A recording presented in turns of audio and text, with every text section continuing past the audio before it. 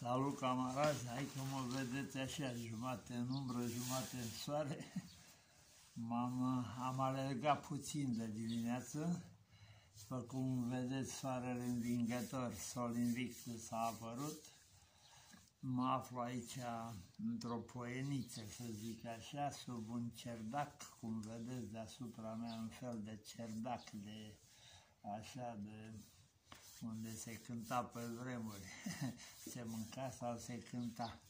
Așa, niște vaci trec pe lângă mine la 10-12 metri, că sunt duse la pășune. Uh, am intrat să vă fac un video așa scurt. Uh, mi-au și o masă de dimineață, am luat o pâinică împletită, știți, proaspătă, proaspătă. Mai mănânc din când în când și un pic de pâine albă.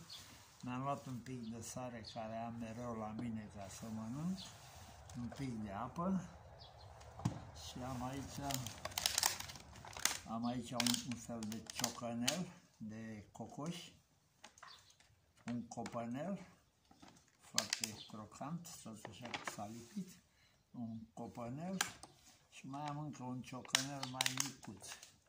Deci am, am două ciocănele două ciocănele și un copănel. O să mănânc și eu de dimineață că astăzi vreau să fiu vrednic, să fiu productiv, să filmez 3-4 clipuri măcar, știi, să bag și pe Geto Dacia International, să, să mai bag și pe celelalte două canale.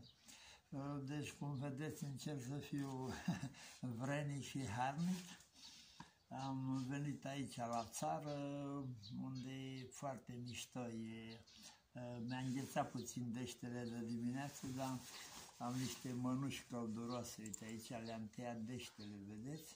Le-am tăiat deștele ca să pot să și apuc. Ia uitați-vă, sunt foarte călduroase, sunt destul de scumpe. Le-am primit cadou de la scriitoarea care m-a ajutat să să scriu cartea mea biograf, autobiografică, Ultimul Qatar. Cum vă zic, sunt în mijlocul naturii, foarte mulți copaci pe aici, pe în jurul meu. Stați să vă arăt așa un pic. Să întorc camera. Foarte mulți copaci, salcii, așa. Și în spatele meu și aici numai, numai natură pură, vedeți? Numai verdeață, foarte frumos aici, e simplu, dar e, cum să zic așa, e, e uman, e natură, aici nu prea au șanse de dârele morții pentru că e pădurea Comana care are 24.000 de hectare de pădure, lac, stuf, deci dârele morții sunt mai, sunt mai puțin periculoase aici. Sunt optimist, uh, uh, sper că și voi sunteți bine. Eu sunt bine, sunt sănătos, mi-a înghețat un pic deștele de dimineață pe bicicletă, dar nu a fost așa grav. Uh, și un pic de deștele la picioare.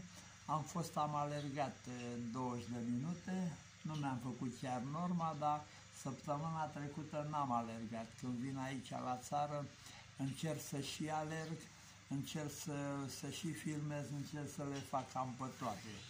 Și mai fac și câte o mică combinație ca să mai câștig un ban.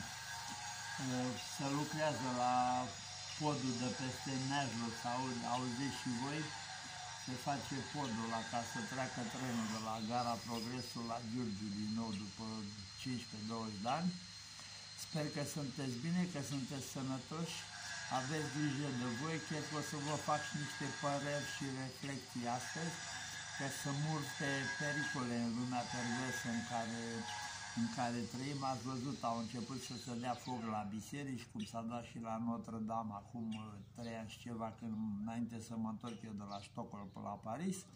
Deci, uh, forțele malefice sunt la lucru, după cum vedeți, nu putem să stăm numai să ne rugăm pentru că cu rugăciunea nu rezolvăm nimic, ei acționează, trebuie să acționăm și noi, că dacă nu, nu o să mai fim nici popor, nici nație, nici patrie, nu o să mai avem, nu o să mai avem nimic, o să fim uh, noi evrei care colindă prin lume să-și caute un loc unde să doarmă, dar la alți, știți? Uh, deci aveți grijă de voi, fiți atenți, stați cu urechile ciulite, nu credeți nimic ce vă spune guvernul. Guvernul e dușmanul vostru, ca întotdeauna. Deci, camarazi, suntem catari umăr la umăr pe drumul vieții. Vă iubesc, vă pup, ne vedem mai târziu. Pa, camarazi!